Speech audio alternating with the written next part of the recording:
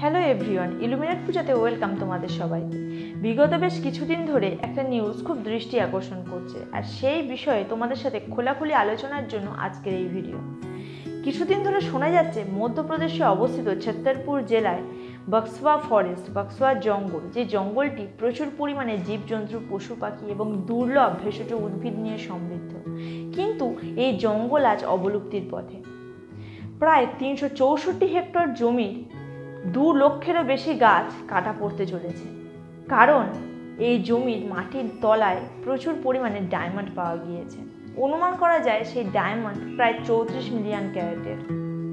আর এই ডায়মন্ড উত্তোলনের জন্যই এমন পদক্ষেপ। এখানে আবার হীরের সন্ধান কবে পাওয়া গেল? এই প্রশ্ন আমাদের টেনে নিয়ে যাবে ফেলে আসা দু হাজার চার সালে। এই বক্সওয়া ফরেস্ট কলকাতা থেকে প্রায় বারোশো তিন কিমি দূরে অবস্থিত দু সালের জনগণনা অনুযায়ী এই বক্সওয়া ফরেস্ট বা এই ছত্তরপুর জেলার জনসংখ্যা প্রায় দশ হাজারের মতো। মেন টপিকে ফিরে আসা যাক। দু হাজার চার সালে রিও টিন্টো নামে একটি অ্যাংলো অস্ট্রেলিয়ান কোম্পানি এই ডায়মন্ডের সন্ধান পান এবং মধ্যপ্রদেশ সরকারের সাথে চুক্তিতে আবদ্ধ হন যে এই হিরে উত্তোলনের পর টেন পার্সেন্ট পাবে মধ্যপ্রদেশ সরকার এবং বাকি নাইনটি পার্সেন্ট নিয়ে যাবে অ্যাংলো অস্ট্রেলিয়ান কোম্পানিতে সেই সময় প্রায় নশো একাত্তর হেক্টর জমির পাঁচ লক্ষেরও বেশি গাছ কাটা পড়তো। এতে বিঘ্নিত হবে জীবকুল এবং নষ্ট হবে সেই দুর্লভ ভেষজ উদ্ভিদ। তার উপরে এই অঞ্চলটি খরা প্রবণ এই হিরে উত্তোলনের জন্য যে পরিমাণ জলের প্রয়োজন এতে এই অঞ্চলটিতে দেখা দেবে খরা। শুরু হয় আন্দোলন। সেই সময়ে সরকার শিবরাজ সিং চৌহান এই চুক্তি থেকে বেরিয়ে আসেন। বন্ধ হয়ে যায় এই চুক্তি। এরপর অনেক বছর কেটে যায় এবং দু হাজার আঠেরো সালে নতুন সরকার, কমলনাথের সরকার, তিনি আবারও রিও টিন্টো কোম্পানির সাথে চুক্তিবদ্ধ হন। এখন প্রায় তিনশো চৌষট্টি হেক্টর জমির দু লক্ষেরও বেশি গাছ কাটা পড়তে চলেছে। শুরু হয় আবারও আন্দোলন। বাচ্চারা ভুলে যায় পড়াশোনা, খেলাধুলা, তারা এই জঙ্গলকে বাঁচাতে চায়, কারণ তাদের সম্পূর্ণ জীবিকা নির্বাহের রাস্তা এই জঙ্গলের ওপর নির্ভর করে। তবে হ্যাঁ সরকার এখন এই দু লক্ষ গাছ কাটার পরিবর্তে পাঁচ লক্ষ গাছ বসানোর প্রতিশ্রুতি দিয়েছেন।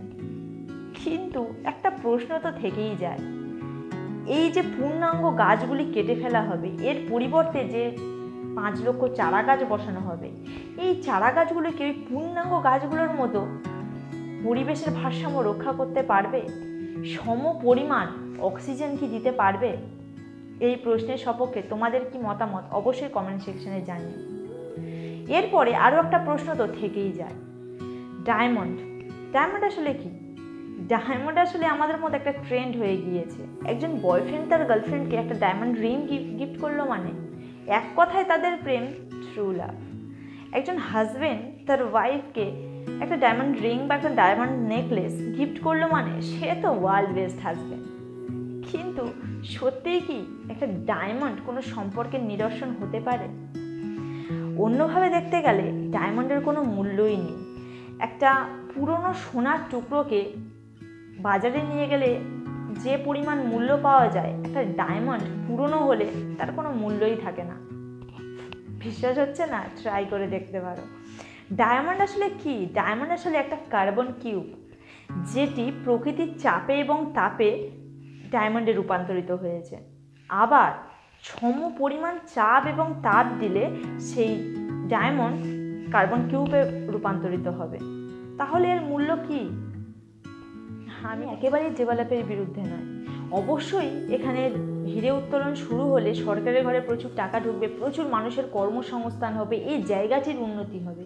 কিন্তু তারপরেও যে দু লক্ষ পূর্ণাঙ্গ গাছ কেটে ফেলা হচ্ছে, তার ভারসাম্য কি ওই পাঁচ লক্ষ ছোট চারা গাছ দিয়ে সম্ভব? তাই আমার মনে হয় যে পাঁচ লক্ষ চারা গাছ সরকার পরে বসানোর প্রতিশ্রুতি দিয়েছেন, সেই গাছগুলিকে আগে রোপণ করা হোক এবং সেই গাছগুলি যখন পূর্ণতা লাভ করবে, তারপরেই ওই পূর্ণাঙ্গ গাছগুলিকে কাটা হোক। পাঁচই জুন বিশ্ব পরিবেশ দিবসের দিন হাজার হাজার গাছ রোপণ করা হয়। কিন্তু তার মধ্যে থেকে কটা গাছ বাঁচে, আমরা কেউ তার খবর জানি না। এতগুলো বছর যদি সরকার অপেক্ষা করতে পারে, তাহলে কি আর কিছুদিন নয়?